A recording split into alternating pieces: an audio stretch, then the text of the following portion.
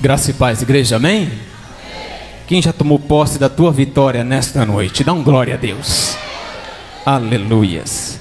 Eu agradeço primeiramente a Deus, a vida da nossa liderança, apóstolo Valdivino, Bispo Irene, pastor Edson, que é o pastor desta casa. Aleluia.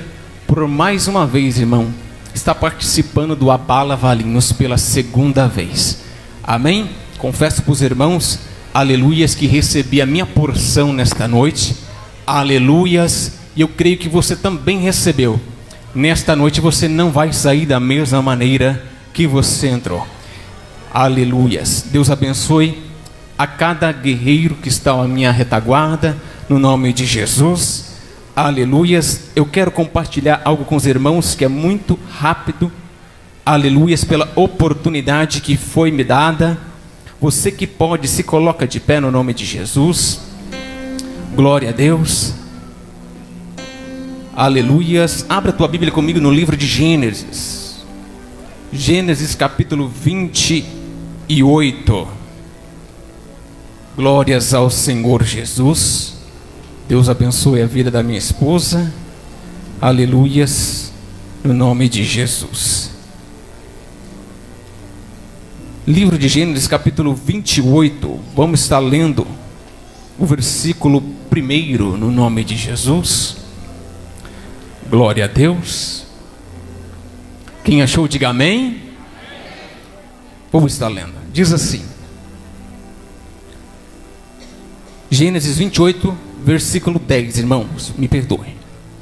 Diz assim: Partiu, pois, Jacó de Berseba e foi a Arã, e chegou a um lugar onde passou a noite, porque já o sol era posto, e tomou uma das pedras daquele lugar, e a pôs por sua cabeceira, e deitou-se naquele lugar, e sonhou.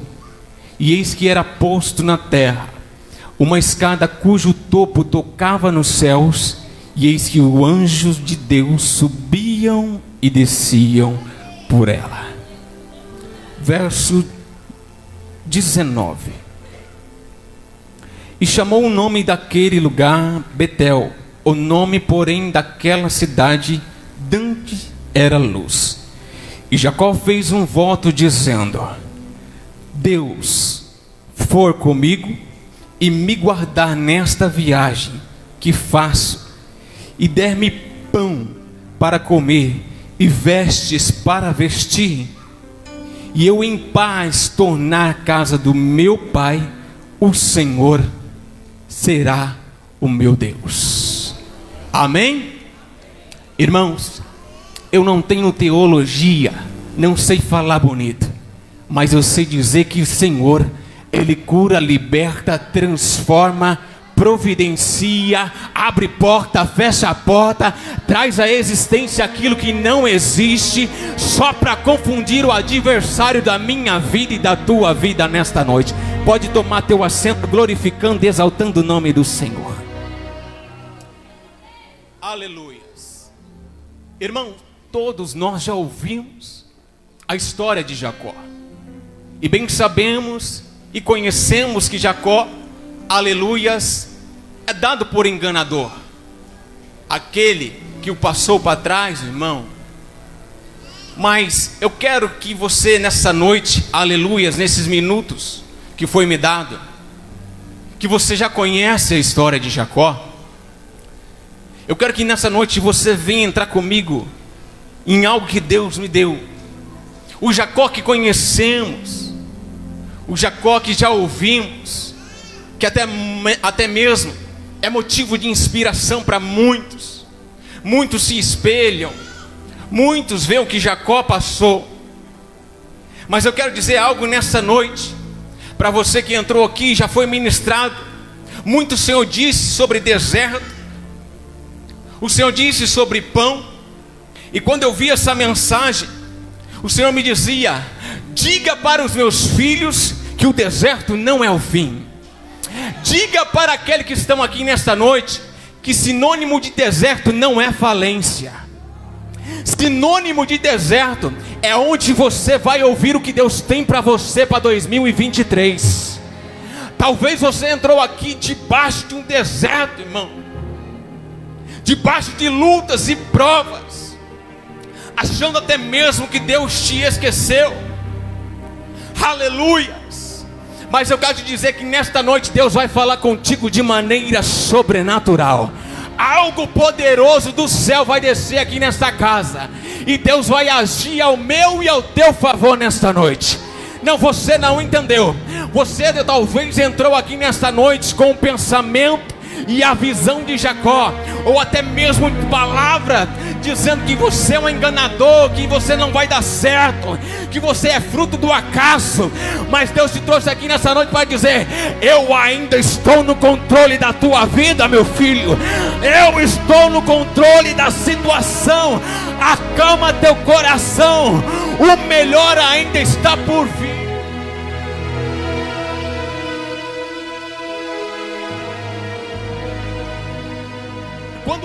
Capítulo 28, no versículo 10 e 11, a Bíblia vai nos dizer, apóstolo, que Jacó ele foge para o deserto, e quando ele chega no deserto, a Bíblia vai nos dizer, Jacó, ele pega uma das pedras, se ele pega uma das pedras, é porque existiria mais pedras naquele lugar. Então Jacó pega uma das pedras, segundo a Bíblia vai dizer, e Jacó vai fazer essa pedra como travesseiro. Mas se você ler no hebraico, aleluias, Jacó ele vai pegar uma dessas pedras. Por quê? Porque Jacó pega várias pedras. E qual o propósito, pastor? Jacó começa a cercar em volta porque de noite os animais, os insetos saíam para caçar. E no hebraico ele pega uma das pedras, aí ele deita sobre ela. Mas por que, pastor? Jacó vai pegar uma das pedras e vai fazer como travesseiro. Porque Jacó vai fazer em volta de ti um cercado de pedras, para que os animais não vinham até Jacó e pegasse ele naquele deserto. Então a Bíblia então vai dizer que agora Jacó ele deita. Por quê, pastor? Porque Jacó caminhou pelo deserto. E eu quero dizer para você que está ligado nesta noite: deserto cansa, deserto tem sol, deserto às vezes você procura recurso e não tem. Você anda pelo deserto, Talvez você entrou aqui nesta noite, aleluias, debaixo de um sol escaldante, e você diz: não tem mais jeito, não tem mais solução.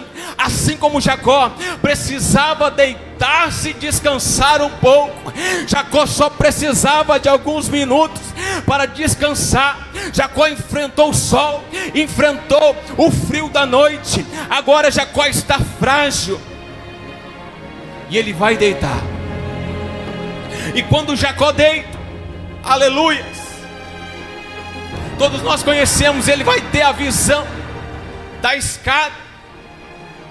Só que vamos ganhar tempo. Jacó vê anjos subindo e descendo. Aí eu vejo uma manifestação divina de Deus. Porque Jacó fugiu. E quando Jacó foge, eu quero entrar nesse contexto com você. Talvez Jacó não teve tempo de fazer uma malinha com roupa, com veste. Jacó não teve tempo de se preparar para fugir. Jacó fugiu para sobreviver. E quando Jacó deita e começa a ter aquela visão divina e diz: Eu vou fazer a minha cerca de pedras para que animais não venham a me pegar. Mal sabia Jacó que Deus já tinha enviado anjos para o guardar naquele deserto. Não, você não entendeu, eu vou repetir. Talvez você está procurando recursos e Deus está dizendo: Já estou te guardando faz tempo, meu filho. Você só está aqui por causa dos anjos que eu tenho enviado para te guardar, para te livrar nesse deserto que você está enfrentando. Talvez você está como Elias pedindo a morte, mas o Senhor conhece a tua história. Deus sabe da tua fraqueza. Deus sabe da tua estrutura. Deus me trouxe aqui nessa noite para dizer: não vai faltar recurso no deserto que você está passando. Deserto é currículo. Deserto não é para você tirar a vida. Deserto não é para você subir. Aleluia. Numa ponte dizer: chega, basta. É o Senhor dizendo: até no deserto eu cuido de você. Até no deserto eu tenho um anjo para você. Tu está preparando tudo, mas eu já tenho preparado. Aleluia. Oh glória. Jacó então começa a ter essa visão divina de anjos que sobem, de anjos que descem. Só que eu não quero entrar nesse aspecto agora. Então, depois de Jacó vivenciar tudo isso, no capítulo 28, no verso 20, aonde lemos, a Bíblia então vai dizer que Jacó ele faz um voto. Em algumas tradições está pedido. E eu quero que você leia comigo, que eu já vou partir para o final. Jacó agora ele chega no deserto e vai fazer quatro pedidos. E eu fiquei me perguntando, Senhor, por que Jacó fez quatro pedidos? Porque ele não teve tempo, talvez foi o último café da manhã que ele teve com a mãe dele. Talvez foi o último momento que ele teve com a mãe, não sei se ele chegou a almoçar. Eu não sei se deu tempo de se preparar. Aí então Jacó vai fazer quatro pedidos. Vamos lá? O primeiro pedido que ele diz, ele fala para o Senhor. E Jacó fez um voto, dizendo: Se Deus for comigo, eu vou repetir. Primeiro pedido: Se Deus for comigo, Jacó está dizendo: presença. Segundo pedido que Jacó faz: Se o Senhor me guardar, Jacó está dizendo: proteção. Tem gente que está entendendo, eu vou melhorar. Jacó continua dizendo: Senhor, eu preciso de mais um pedido. Qual que é o terceiro pedido, Jacó? Se o Senhor me der pão, se o Senhor me der roupa, Deus estava dizendo: provisão, provisão. Tem mais um pedido, Senhor. Qual que é o pedido? Senhor, eu preciso de paz. Jacó estava dizendo: Shalom, preciso de paz. Preciso de paz. Tem gente entendendo. Eu perguntei para o Senhor, Senhor, por que Jacó fez esse pedido? Deus falava: Meu filho, ele saiu, não teve provisão, não teve tempo de se preparar, mas eu já tinha preparado tudo para ele naquele lugar. Deus está mandando eu te dizer nesta noite. Deixa eu liberar uma palavra para você. Talvez você saiu de 2022 debaixo de palavra maldizente, não teve tempo de se preparar, não teve tempo de guardar, não teve provisão, mas Deus está dizendo: 2023 chegou o ano de você viver milagre. Chegou o ano de você viver milagre. E como vive milagre, vai ter presença, vai ter proteção, vai ter provisão e vai ter paz para a tua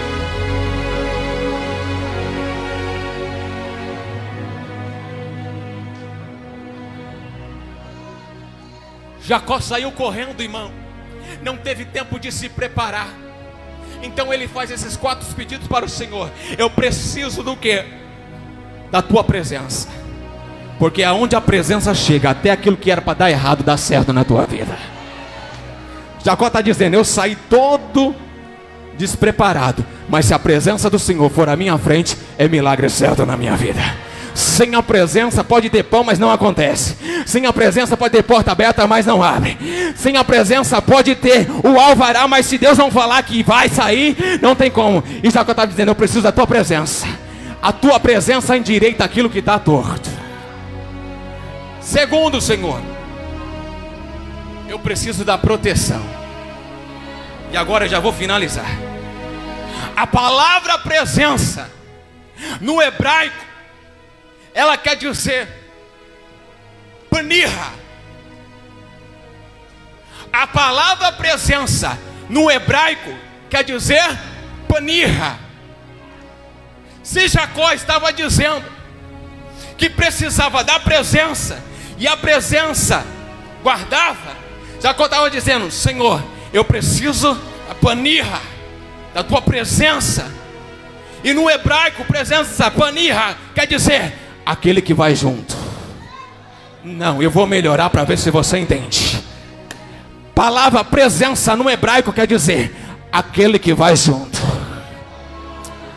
aquele que não abandona, aquele que está do lado direito, do lado esquerdo, aquele que está à frente, que está atrás, aquele que cura, aquele que carrega, aquele que está de manhã, está de tarde, está de noite, está de madrugada, aquele que está de janeiro a fevereiro, março, abril, dezembro. Jacó estava dizendo: Eu preciso da tua presença, porque a presença não abandona.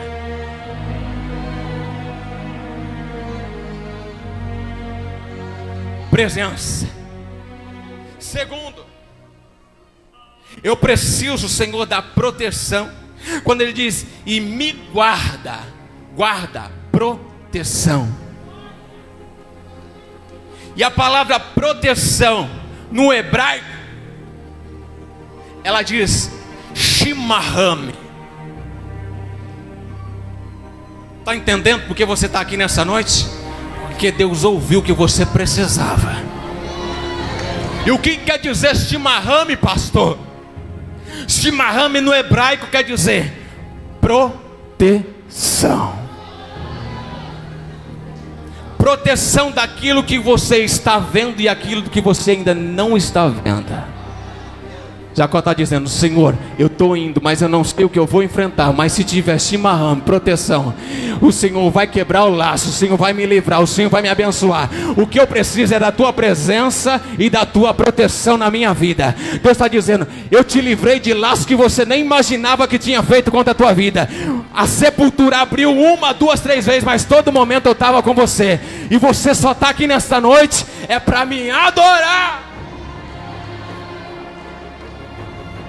Olha quantos laços já foram cortados na minha vida e na tua vida, porque a presença e o chimarrão de Deus chegou primeiro.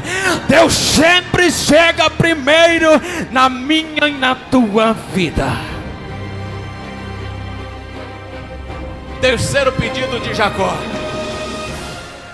Jacó vai dizer: Se me guardar nesta viagem que faço, me der para comer e vestes para vestir, porque não teve tempo de arrumar malinha, não teve tempo de se preparar. Então ele pede pão e vestimento. E quando eu lembro de pão e vestimento, me traz a memória provisão. Você não entendeu? Jacó estava dizendo: Eu preciso de provisão. Eu preciso de provisão. E provisão no hebraico quer dizer lebosh. Quer saber o que é lebosh? Provisão no hebraico quer dizer lebosh. Que quer dizer aquele que multiplica. Eu acredito que meia dúzia já entendeu. Para você liberar o glória que está aí dentro de você diz: aquele que multiplica, provedor. Não, agora você tem que dar um salto da cadeira, senão você está muito ruim. Aquele que traz à existência aquilo que não existe. Deus traz aquilo que não existe à existência. Jacó só estava dizendo: Eu preciso da tua presença, eu preciso que você me guarda. Mas, Senhor, e se eu não tiver, eu faço ter. Senhor, mas o que eu tenho é pouco, eu multiplico. Mas eu não tenho nada, eu trago a existência para te guardar. Senhor, mas o ano de 2023 veio debaixo de palavras, o Senhor está dizendo: Eu vou prover para você, eu vou prover para a tua vida Aleluia. Deixa eu liberar uma palavra de Deus para a tua vida. Já vou encerrar. Aleluias. Deus vai multiplicar aquilo que você tem. Pastor, eu não tenho nada. Deus vai trazer à existência aquilo que não tem. Eu estou pregando um Deus da Bíblia, irmão. Aleluia. Os Deus que.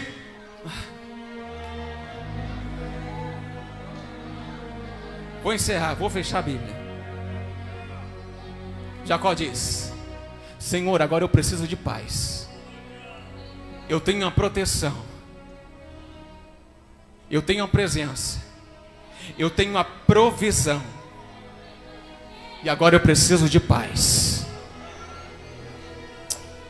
É paz, irmão. Shalom. É a paz do Senhor, não é a paz que você diz, a paz. A paz do Senhor que você deita e dorme tranquilo. A paz que você entende que Deus está no controle de todas as coisas. Que Ele não te abandonou. Deixa eu profetizar para a tua vida. Se coloca de pé no nome de Jesus. 2023, Deus tem preparado o melhor para a tua vida. Você vai vivenciar e viver milagres, irmão. Deus vai prover, a presença de Deus é contigo. Não te esqueça, aleluias, deste culto desta noite. Deus vai prover aquilo que até você não tem para mostrar que Ele é Deus na tua vida.